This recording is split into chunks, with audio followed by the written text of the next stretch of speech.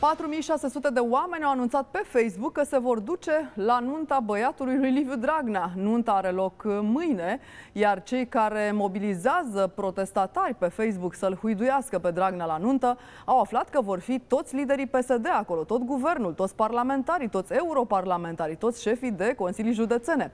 Avem nu doar nuntă, ne întâlnim și cu aleșii noștri, este mesajul de mobilizare dat uh, pentru mâine.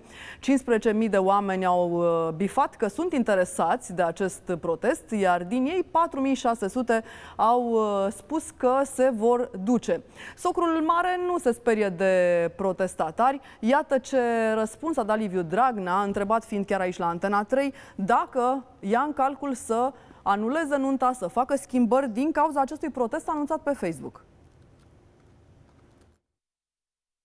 Vă puneți problema să schimbați ceva, să amânați nunta, Dom'le, cum să se pună, cum să-mi pun problema să amân nunta copilului meu?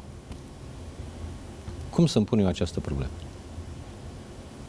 Nici vorbă. Nu anulați nimic, nu Dar cum mutați... să se anuleze nunta copilului meu și a viitoarei lui soții? Cum să se pună o astfel de problemă? Vedeți unde duce Iohannis țara, unde vrea să ducă Iohannis această țară? Acolo vrea să ducă Iohannis. Așa vrea să conducă România și după 2019 încolo. Adică am stat 10 ani cu Băsescu și mai avem și blestemul cu Iohannis să stăm încă 10 ani? Trebuie să decidă poporul român. Acolo vrea să ducă Iohannis această țară. Deci vedeți ce discutăm? Dacă eu pot să-mi pun problema să anulez nunta copilului meu, cum să mă gândesc la așa ceva? Nici vorbă.